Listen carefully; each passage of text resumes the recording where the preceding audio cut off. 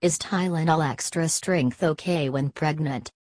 It's fine to take either regular or extra strength acetaminophen, but be careful not to take more than the amount recommended on the label.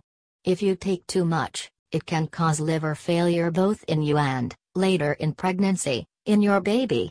Acetaminophen, Tylenol, is generally safe to use during pregnancy, although you should consult your doctor first.